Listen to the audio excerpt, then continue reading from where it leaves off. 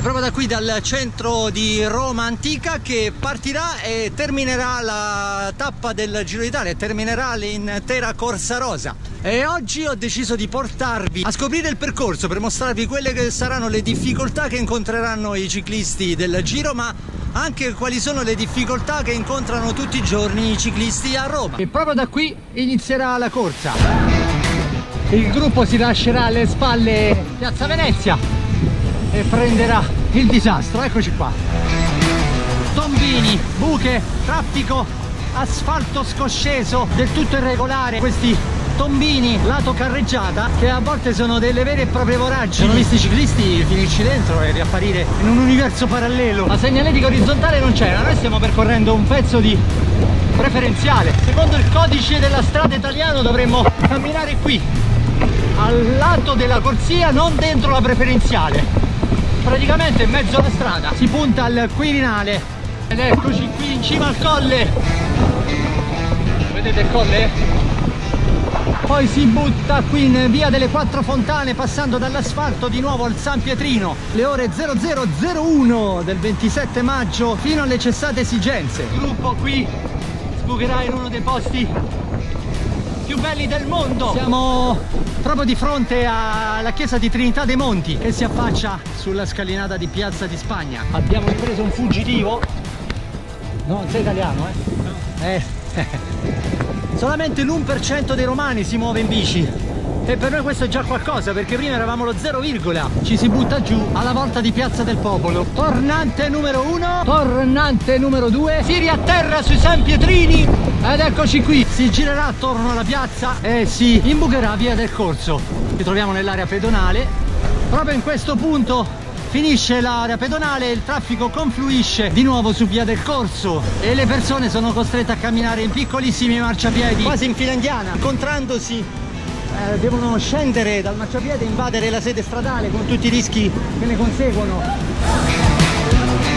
Le stanze del potere alle mie spalle. Pigliamosi tutta la corsia ciao. E si risbuca qui a Piazza Venezia una delle meraviglie più trafficate del mondo. Ora vabbè con buche annesse. Dovranno, dovranno prestare molta attenzione. Si scollina il Campidoglio giù verso il teatro di Marcello.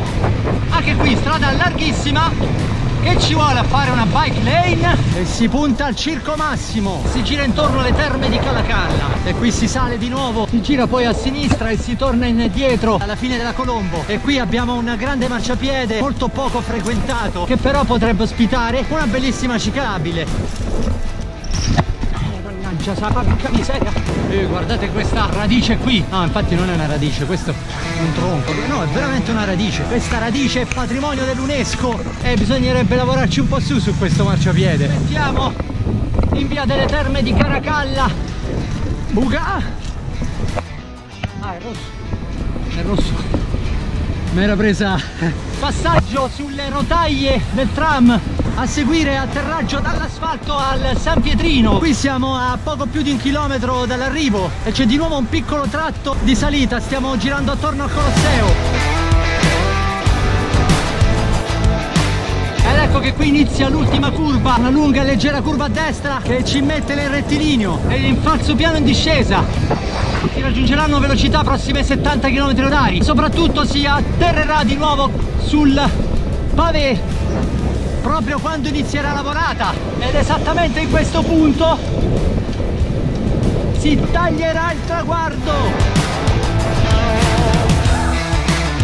Dunque domenica a Roma ci sarà l'ultima tappa del Giro d'Italia. Sarà una bella passerella per la città e per l'amministrazione. E non dimentichiamo che il Giro d'Italia è uno degli eventi sportivi più seguiti in tutto il mondo. Ma non vorrei che passasse il messaggio ancora di più che la bicicletta è un mezzo per fare sport la domenica.